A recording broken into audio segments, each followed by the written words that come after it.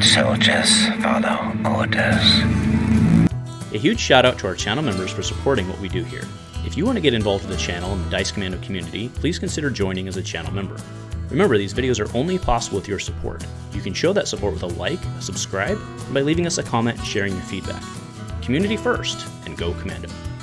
Hey there, Star Wars Destiny folks. Welcome back to Dice Commando and the Commando Cast, and happy Destiny Friday. Today I want to talk about ARH7's Crosshair. This is a card that's very fascinating to me because I honestly didn't see the mill kill I was looking for that was going to come in villain. I was too laser focused on my take on Jyn Cassian and being hero in the past. And here's our mill kill brother, I guess, right? Now, Crosshair is very interesting to me because he, he really lets you live the dream, so to speak. Not only are you taking cards from their hand via his discard, but you get to choose the specific cards that you want to take. So he's basically in theme, he's sniping those cards out of your hand, which is which is pretty neat, right? So character trooper, 11 14 with 12 health, two gun, two gun, discard, two discard for an indirect, resource blank. When you resolve this die, showing a discard for the first time each round you may look at an opponent's hand and choose the cards to be discarded instead. Right? So you get one time that you get to snipe the cards out of their hand. Hopefully you're doing that with a two discard, but hey, one discard and taking the card they think they want is very interesting. So the question isn't whether or not he's good. I think he's very good. The question is that he's is is whether he's useful or not in that he has to have a pair because that's kind of how destiny works right? So what i wanted to do today was really drill, drill down on exploring some potential pairs and strategies with with crosshair. Now i'm going to propose not really propose but i'm going to explore i'm going to propose one maybe two. The third one is just something that's interesting to me but i would really like to know as we go through this or heck to start let me know who your who you think would be good with Crosshair, what you're trying out with him, because I think he's really good. I'm just not entirely sure where to go with him right now. So I love your your feedback on that, and let's you know get that conversation started. So the first one I have up is Vizago. So this is a card I really liked from Display of Power.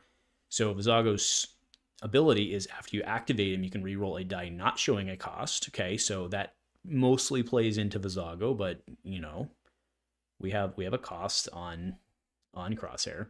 Probably not going to re-roll trying to get the two discard for one, but maybe.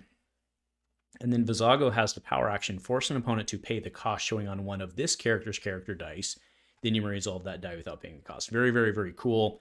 I, I really like this character, but he never really saw a ton. There were some decks going out there, but you know, didn't really do a whole bunch. But I think with Crosshair, that's a very interesting pairing looking at these two side by side. Now, I do want to point out the power action, it only works on Vizago's dice. So you can't take two cards from their hand and deal them an indirect and choose which cards you get to do, right? It, it doesn't work that way. You don't get to live the dream, but you have, right, you have that whole thing going on. Now, again, I do want to point out as well, kind of skip, not really skipping ahead, but kind of to an aside. I do realize there's the whole Black Dawn thing out there where, you know, when you deal yourself indirect, you get things. I don't, I don't think though that's the right strategy for Crosshair, right? Because he just has the one indirect, and I think you're more than happy to take the one indirect yourself to get two specific cards out of their hand. So I, I don't, I don't think that's the play here, but I do think Vizago's very interesting for that because if you essentially if you're trying to use crosshair let's be honest his his discard sides here and his uh, feed into his ability and those two two gun sides are are not what makes crosshair good right? It's it's the ability on him.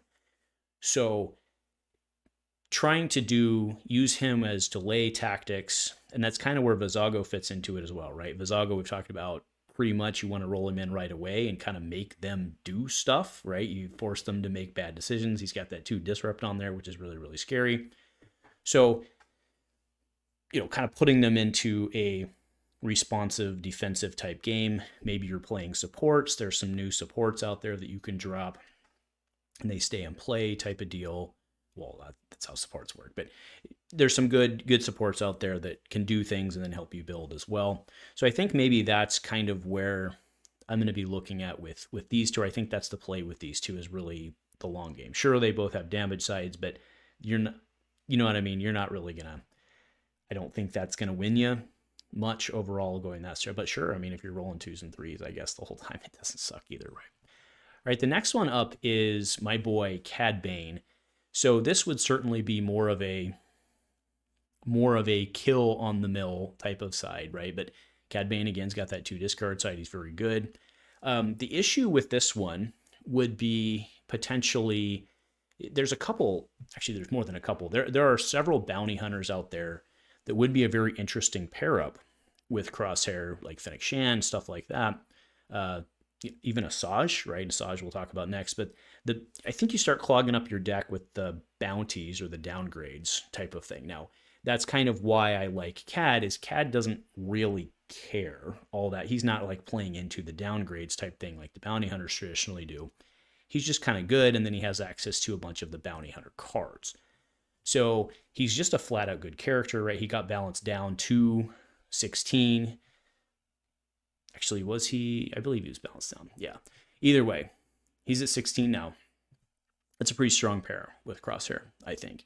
And, you know, then next I kind of already, you know, jumped the gun on that. But the new Asajj is very interesting to me as well. Not just, again, I'm not just picking people that have one discard sides, but being able to pull the four downgrades of any affiliation or color is is kind of interesting to me. Now, granted, you have red, so you can pull some of the like delay tactic type stuff. That's where I'm really going there is like putting the, you know, downgrades on your opponent that net you in the long run or hurt them in the long run. You resolve their dice, that that sort of thing. That's very interesting to me because again, you're using crosshair to essentially delay their progress and then you know late game you can kind of switch to taking that big two drop removal out of their hand or something like that so that you can get where you need to go. And then meanwhile Asajj is doing her thing.